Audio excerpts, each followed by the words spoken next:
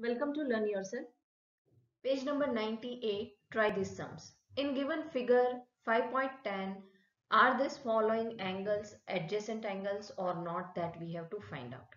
So for example A and B, we have to check that whether they are adjacent angle or not. And for that, we will check all the three conditions. If all the three conditions are fulfilled by these two angles, then they are adjacent angles. Hmm. So let us start with first example angle AOB. So here we are talking about this angle and angle BOC. So this is going to be our second angle. Let us check our first condition common vertex. Yes, they do have common vertex and that is O. Then second common arm. OB is common arm in between these two angles. So OB is common arm in between these two angles. Then third condition is non-common arms on either side of common arm. So yes, non-common arms are OC and OA. Eh, they both are on either side of this common arm. OA and OC both are non-common arm which are on either side of common arm. So all the three conditions are fulfilled. So yes, they are adjacent angles or they are adjacent to each other.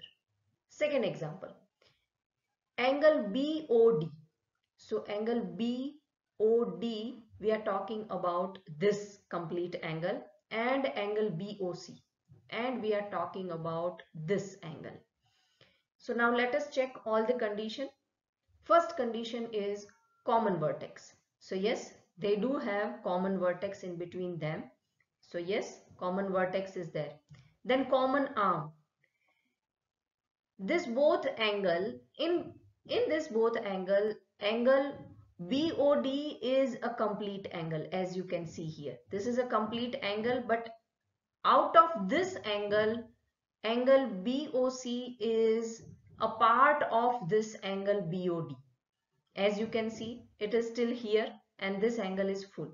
So basically Angle BOC is a part of angle BOD. So they do not have common arm. And that's why non-common arms are also not there. So these angles are not adjacent angle.